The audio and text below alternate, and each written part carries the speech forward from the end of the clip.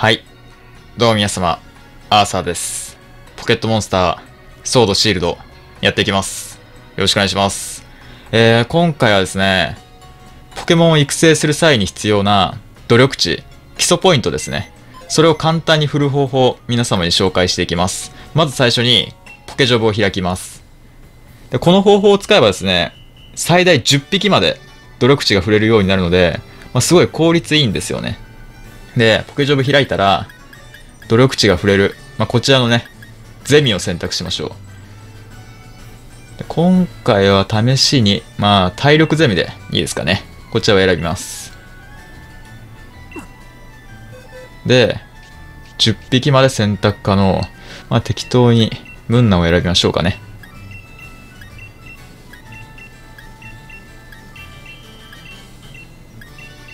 はい、選びました。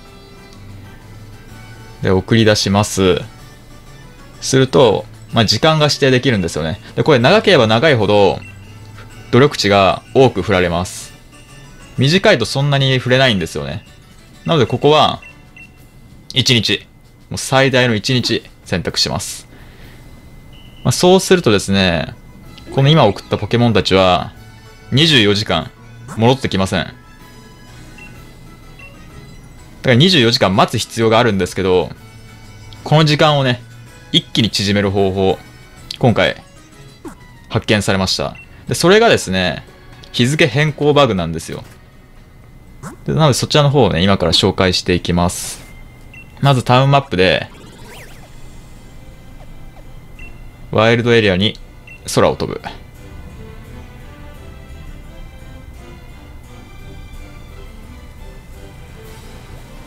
で、飛んだら、まあ、適当なレイド選びましょう。ここでいいですね。で、レイド選んで、みんなで挑戦を選択。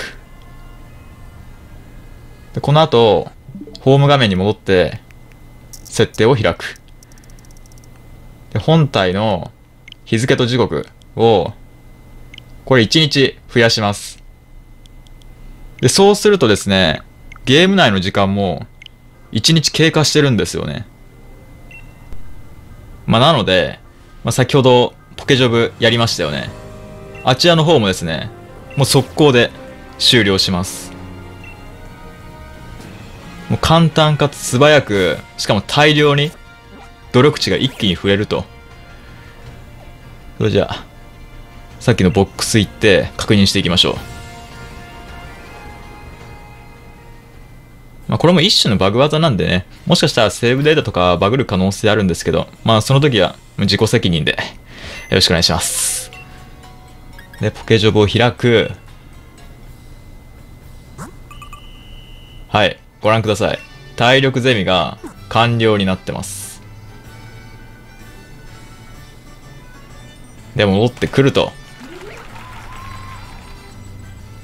で、戻ってきたこいつらはもちろん、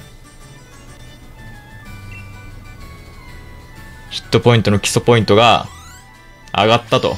96ずつですね。10匹まとめて上がりました。で、成功のお礼としてネストボールも2個ゲット。うん。美味しいっすね。本当に上がってるのかどうかも見ていきましょうか。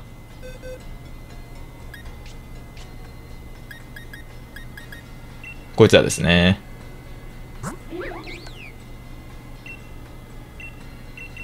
はい、上がってますね。このオレンジが努力値です。基礎ポイント。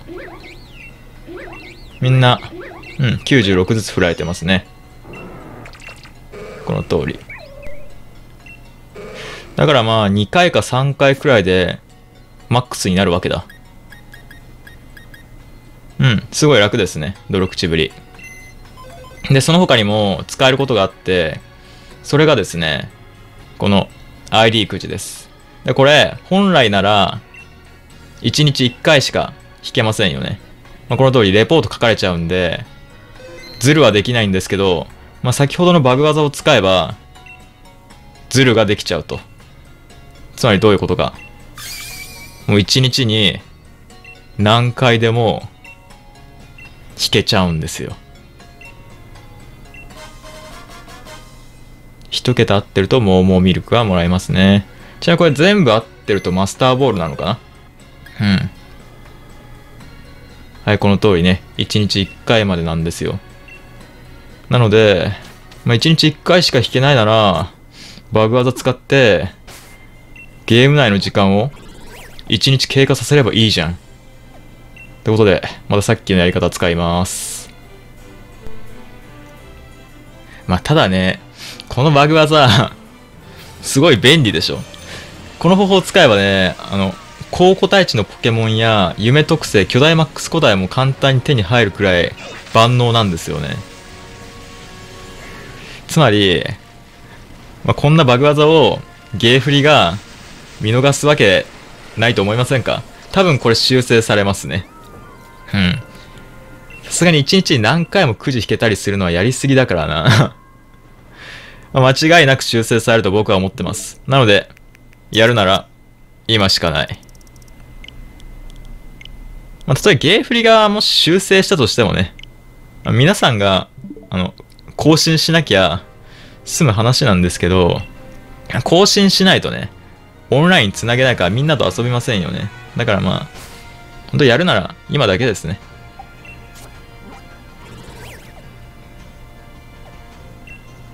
でここでくじも引けるようになってるはずだ。通信交換いっぱいして、いろんな ID のポケモン手に入れて、くじ何度も回せば、まあ、マスターボールも量産できること間違いなしですね。僕も結構交換しまくってるんですけど、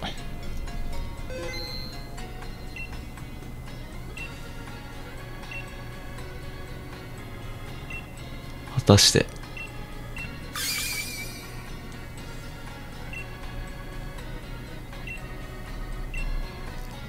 一桁が うん。まあ、モーモーミルクはね、もらえますね。うん。ちなみにこれ、努力値だけじゃなくて、もちろん、経験値も触れます。これいいな。飛行タイプの皆様、ふるってご応募くださいな。飛行タイプを選べばいいのかな ?10 匹選びますね。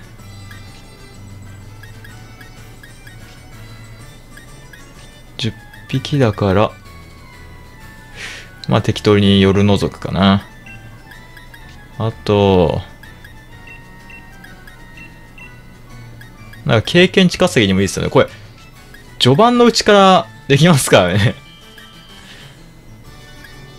レイドバトルとかやれば、経験飴とか不思議な飴腐るほど手に入ると思うんですけど、それ、できるようになるのは終盤じゃないですか。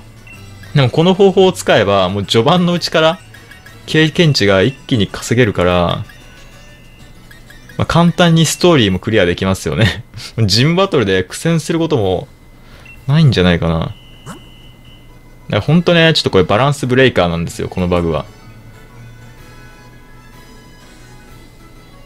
まあ、遅かれ早かれ修正されることは間違いないね。でやるなら、ほんと、今だけ。もう今ならね、6V のメタモンも、この方を使えば簡単に入手可能だからね。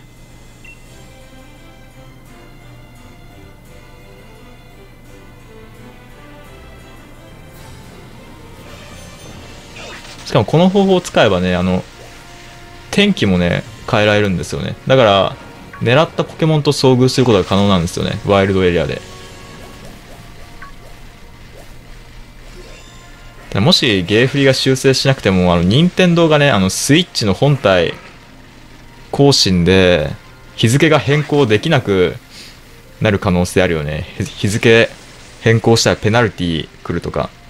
うん。だからまあこのバグ使いたい方は、ゲームの更新もしくはスイッチの更新どちらもしないことをお勧めしますね。しちゃったらもうできなくなるからね。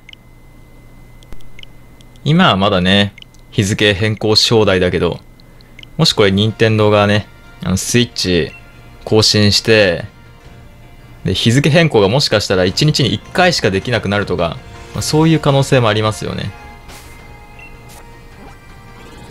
からまあ念のため、本体とゲームのアップデートはしない方がいい。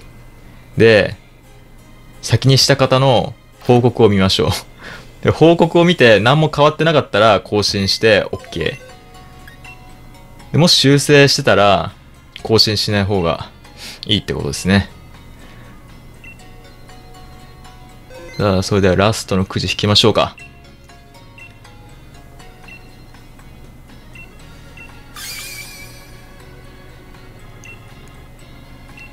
うん。2桁 ?2 桁はポイントアップ。ポイントアップはいいね。PP 増やせるからね。で、先ほど、ポケジョブに預けた鳥が戻ってきてるはず。はい、完了してますね。でこの方法だと経験値はどれくらい稼げるのか。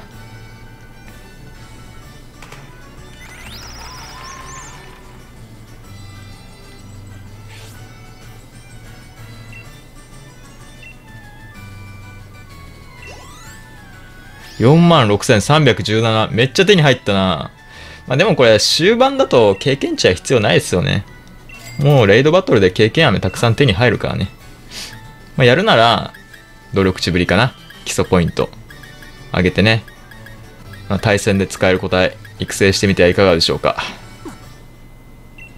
ということで、ご視聴ありがとうございました。